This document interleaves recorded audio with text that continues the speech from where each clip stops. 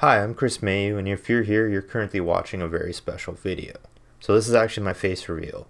If you exclude the fact that I've actually used a photo of me as my profile picture, of course.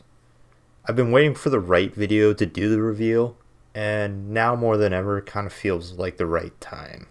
Originally, I was going to do my face reveal for Nostalgia episode 50, but I don't know, this, this time it just feels more special. So chances are, if you're a subscriber of me, you came across me through one of two channels, either The Reel Rejects or Aldo Jones. Two channels that I absolutely love and support through Patreon. If you aren't a subscriber to them through Patreon yet, I highly recommend it. They make amazing content and they're just really good at communicating with their fans. Anyway, when I first became a Patreon of The Reel Rejects, I was surprised because immediately Greg sent me a message. I was just supporting them because I loved their work and plus I wanted to get some shout outs, I won't lie. But getting a message from him was kind of surreal. It was crazy just being able to talk to this guy that I've admired his work for so long. So, over the last couple of months, as I've been a supporter through him, I've managed to have some awesome conversations with him, and he's been able to give me really good advice when it comes to not just like my channel, but my personal life as well. Eventually, I started having them react to my videos, and at one point, John jokingly said that I should do a tribute video for Spider Man using Bad Touch by the Bloodhound Gang. Naturally, I did it because that was an awesome challenge, and that video actually turned out really well, and I'm still proud of it to this day. So, thank you, John, for recommending that. That turned out perfectly.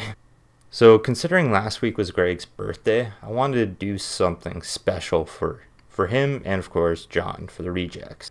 Now, chances are it might be a while before Greg and John actually end up seeing this. I'll be putting my request in for this a little later than usual, so obviously there will be other Patreons who they'll probably have to get to first for their request.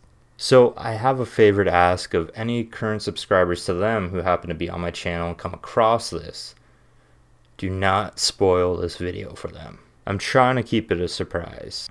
Well, anyway, I hope you enjoy the video. This was an absolute blast to make.